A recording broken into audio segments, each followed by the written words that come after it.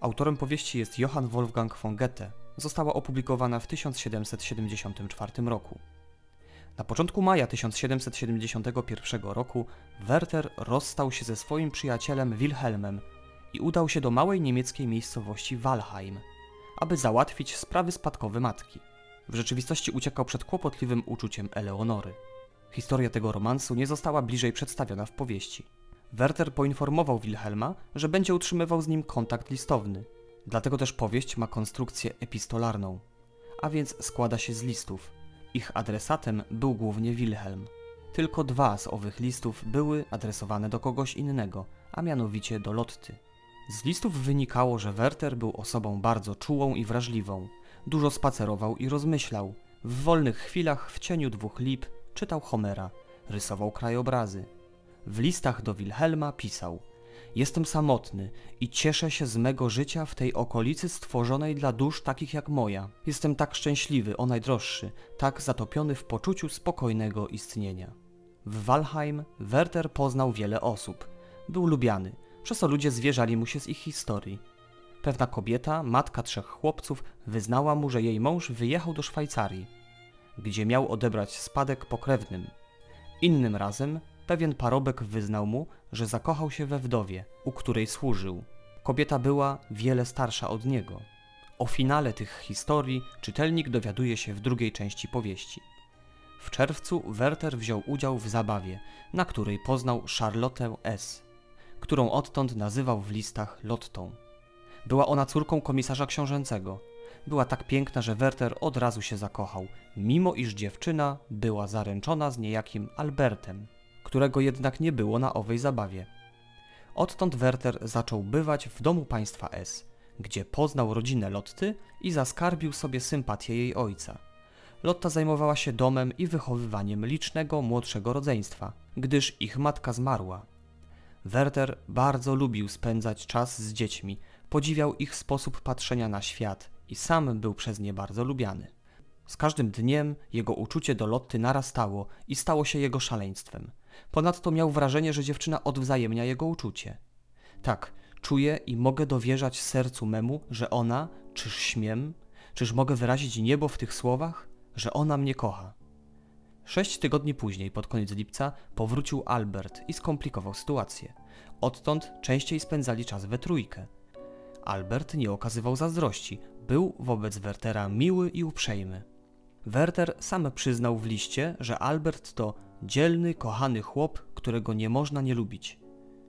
Zachowanie Alberta zbiło z tropu młodego Wertera. Przez kolejne tygodnie toczył wewnętrzną walkę pełną rozterek, która skończyła się podjęciem decyzji o nagłym wyjeździe. We wrześniu, bez pożegnania, opuścił Walheim. Na tym skończyła się księga pierwsza. Nie wiadomo do jakiego miasta pojechał. Kolejny list był datowany na październik 1771 roku. Zaczął pracę w służbie dyplomatycznej, dzięki czemu nawał pracy chwilowo ukoił jego wewnętrzne cierpienia. W pracy nie dogadywał się z przełożonym, który był bardzo rygorystyczny i drobiazgowy, co kolidowało z artystyczną duszą Wertera. Gdy wydawało się, że już zapomniał o nieszczęśliwej miłości, w lutym dotarła do niego wiadomość o ślubie Lotty i Alberta. Początkowo przyjął to ze spokojem i nawet wysłał młodym list gratulacyjny. Z czasem jednak dawne uczucia odżyły. Niedługo potem Werter otrzymał cios natury towarzyskiej.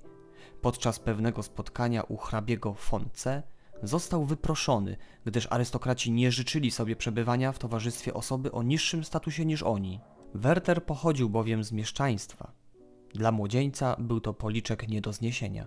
Postanowił rzucić poselską pracę i wrócić do rodzinnej miejscowości. Po drodze zahaczył o włości znajomego księcia, u którego spędził kilka tygodni, mimo iż niespecjalnie się z nim dogadywał. Werterowi chodziło po głowie wstąpienie do armii i pójście na wojnę, lecz książę odradził mu ten pomysł. W liście z 16 czerwca 1772 roku informował Wilhelma, iż opuszcza zamek księcia. Pisał: Tak, jestem tylko wędrowcem, pielgrzymem na tej ziemi. W końcu Werter powrócił do Walheim, gdyż chciał być jak najbliżej Lotty. Chodził po miejscach, w których niegdyś tak bardzo przeżywał miłość do pięknej niewiasty. Niestety nie potrafił odtworzyć atmosfery tamtego miłosnego uniesienia. Czuł się nieszczęśliwy. Do tego nastała jesień, która jeszcze bardziej go przygnębiała. W tym czasie nie chciał już czytać Homera i przerzucił się na pełne magii pieśni Osjana, Jamesa Macphersona. Odwiedził też gospodynię, z którą rozmawiał przed rokiem. Była przygnębiona. Okazało się, że jej najmłodszy synek zmarł. Mąż zaś powrócił ze Szwajcarii z niczym. Nie dostał żadnego spadku, a do tego zachorował. Werter dowiedział się też o losie zakochanego we wdowie parobka. Okazało się, że gdy próbował ją uwieść, został wydalony z pracy.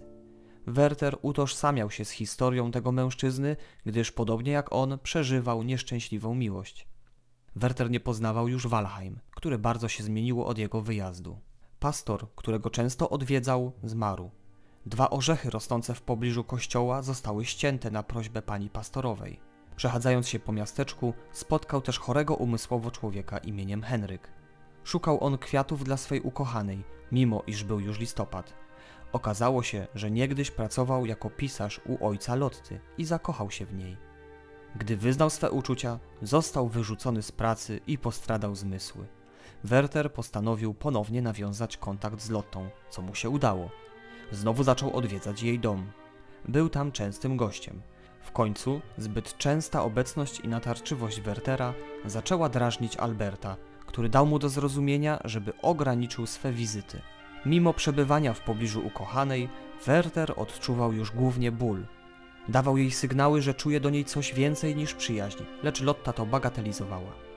W tym czasie dotarła do niego wiadomość, że ów parobek, wyrzucony z pracy, zamordował swego następcę, gdy dowiedział się, że będzie on żenił się z wdową. Werter próbował wstawić się za niego u komisarza i tłumaczył, że jego czyn był podyktowany nieszczęśliwą miłością, lecz Temida była nieubłagana. Przygnębiony Werter coraz częściej myślał o samobójstwie. W trakcie kolejnego spotkania z Lottą zaczął ją całować. Dziewczyna jednak wyrwała się i uciekła do innego pokoju. Odrzucenie to było dla Wertera nie do wytrzymania. Za pośrednictwem służącego wypożyczył on pistolet od Alberta. Następnego dnia napisał list pożegnalny. Był przekonany, że Lotta go kocha, ale nie dane jest im być razem. Uważał, że dopiero po śmierci będą mogli być razem na wieki. Była grudniowa noc, kilka dni przed Wigilią. Gdy nastała północ, założył strój, w którym poznał Lottę, a więc niebieski frak i żółtą kamizelkę, po czym strzelił sobie w głowę. Kula nie zabiła go jednak. Przez kolejne godziny nie utracił też świadomości. Dopiero następnego dnia, w południe, zmarł z wykrwawienia. Informacja o śmierci Wertera wstrząsnęła Lottą i Albertem do tego stopnia, że nie byli w stanie pojawić się na jego pogrzebie, który odbył się tego samego dnia o 11 w nocy bez udziału księży.